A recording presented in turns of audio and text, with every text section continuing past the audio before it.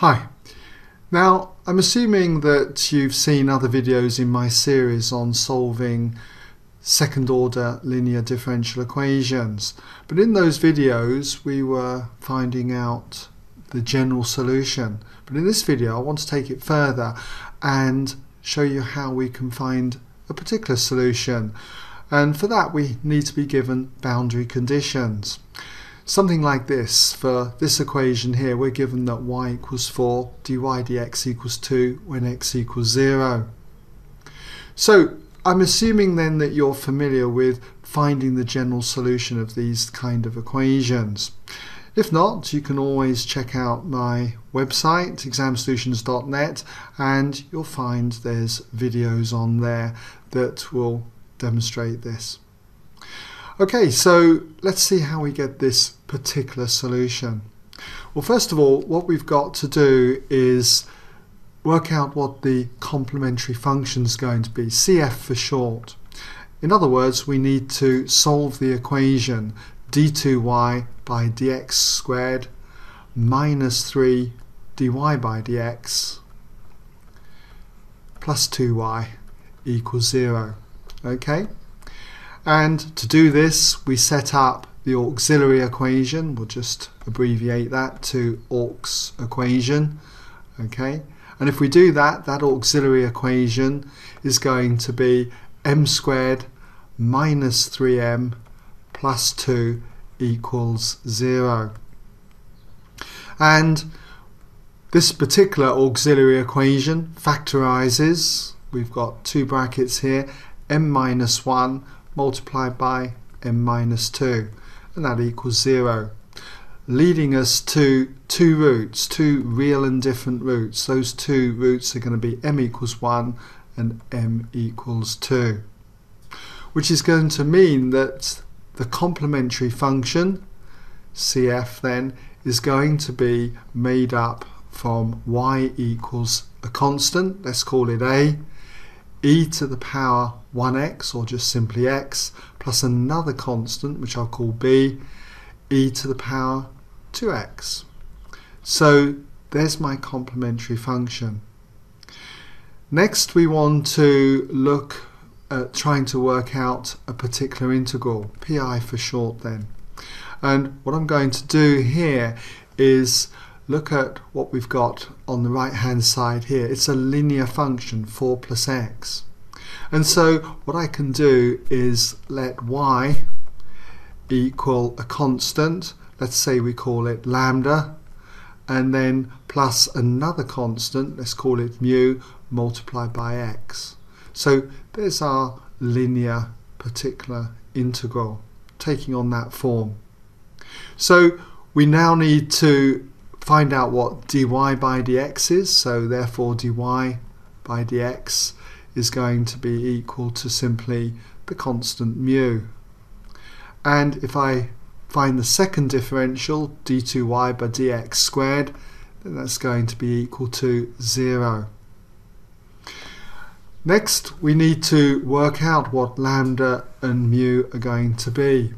So we do this by substituting these values into this equation here. Let's call this equation number one. So I'm going to say sub into equation one.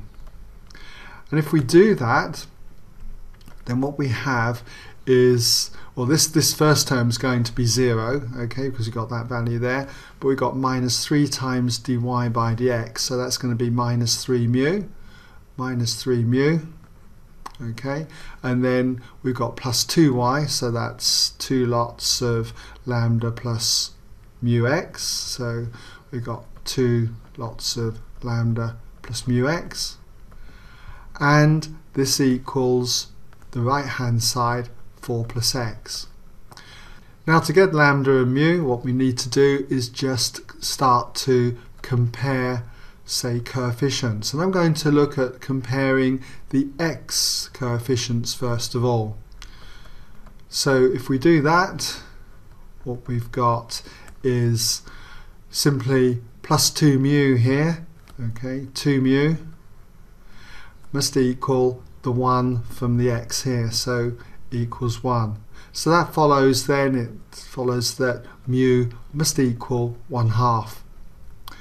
And if we compare the constants, let's just write that down, compare the constants, then what we have got is minus 3 mu, minus 3 mu, and we've got plus 2 lambda equals the 4. And if we substitute mu equals a half into this equation, let's just call this equation 2, we can work out what lambda is. Okay, so let's just write this in here that if we sub mu equals a half into equation 2, then what we get is that lambda, okay, lambda equals 11 over 4. You can check that out, okay? So therefore we now have our particular integral. A particular integral is going to be, from here, it's going to be lambda plus mu x. So we've got lambda, that's going to be 11 quarters plus mu x, so that's plus a half x. Okay? So that means that our general solution, so therefore the general solution, is made up of our complementary function plus our particular integral. So in other words, it's going to be y equals the complementary function a e to the power x plus b e to the power 2x and then plus our particular integral which is plus 11 quarters plus a half x. Okay? Now, what we need to do is figure out what our constants a and b are going to be. And that's where the boundary conditions here come into play. We know that when x is naught, y is equal to 4. So we can just put this down here that when x equals naught, we know that y equals 4. And it means that if we substitute these values into our general solution here, what we've got then is 4 here equals, well if x is naught, that's just going to lead to a, plus, and if x is naught here, it's just going to get b, and then plus 11 quarters.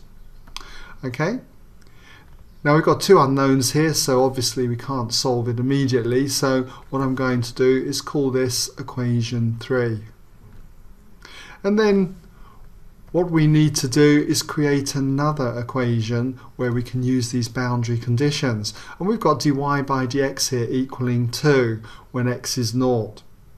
So we need to get dy by dx by differentiating with respect to x our general solution.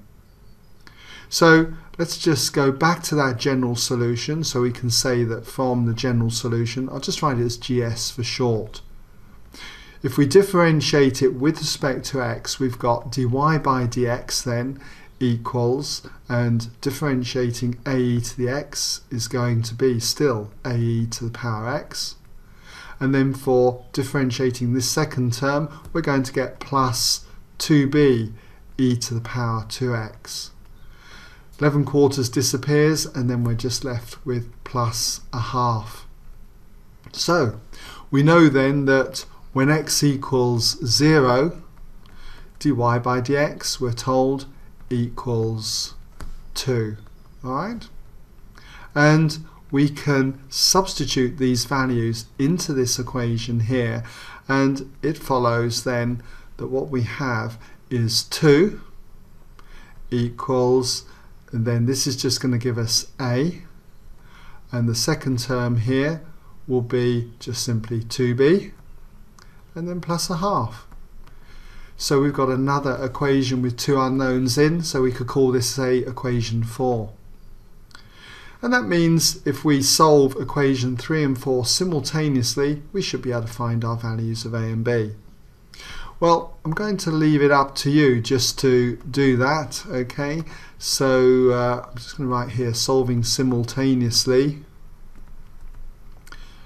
Okay, equations 3 and 4. If you do that, you should find that you get a turning out to equal 1 and b will turn out to be equal to a quarter.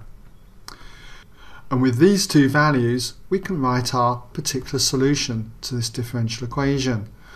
We just substitute our values for a and b into the general solution here. So that's going to give us, therefore, y equals a to the bx, a was 1, so that's 1e to the x, or just simply e to the x, plus be to the 2x, so we've got plus a quarter e to the power 2x, and then plus 11 quarters plus a half x.